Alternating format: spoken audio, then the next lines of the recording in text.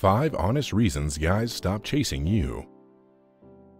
Have you ever been in a relationship or went on a few dates you thought were going great, but all of a sudden the guy disappears? He ghosted you and no longer shows interest in you? You may blame yourself thinking it's something you said or how you look, but I'm here to tell you it's not what you said, it's what you've done. Namely, no guy ever disappears on a girl he's interested in and he truly cares about. There are reasons this might happen, so stay tuned to find out if you're doing some of these mistakes. Number 1. You like to be in control of everything.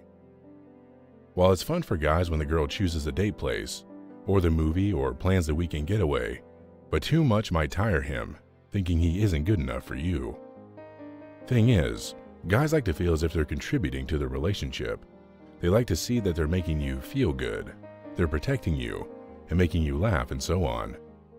But by you taking the lead constantly and rejecting whatever he might propose, like dinner place, what to do on a Sunday morning, and so on, he will not feel welcome and won't be able to see you as his future partner. You have to give him some space to plan and show his interest. Otherwise, he will start taking all your efforts for granted and lose interest overall.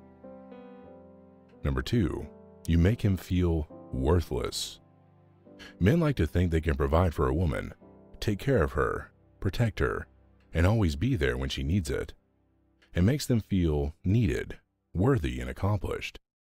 While there's nothing wrong with being a strong, independent woman, you should leave some room for the hero to save you from time to time. Men like strong women, and confidence is sexy. But if you're never showing interest in his help and support, he will feel worthless and start looking for other women that will make him feel appreciated. Number 3. Giving it all too fast.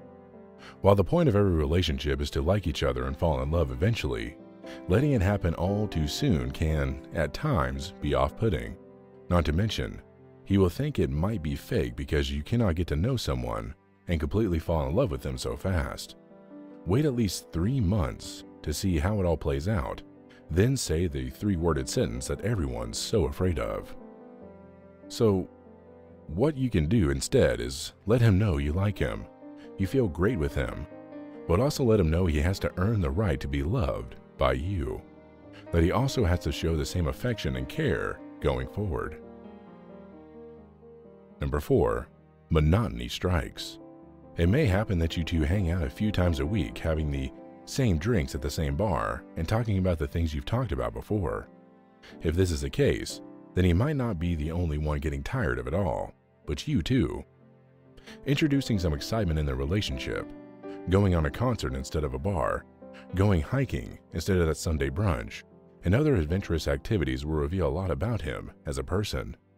You will also look more interesting in his eyes, and it will give you plenty of things in common. Number 5. He might not see you as a long-term relationship material. You may have gone on a few dates and even had great sex with a guy, but you simply cannot make him commit to you or be in a relationship with you exclusively. Well, the first thing you have to remember is that guys don't put sex and relationship in the same basket. You two may have great chemistry and sex, but there are three different categories in the man's brain that he places you in. One is the friendly type, where he sees you as a friend. He can tell you everything and feels good around you.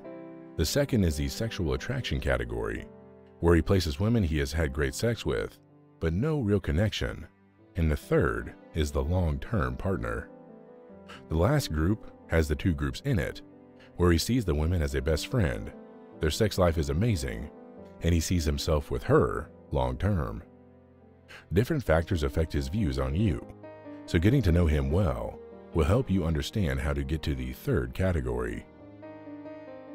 While there may be many reasons for a guy to get cold feet and distance himself from you, these are the most common ones that ruin potential good relationships.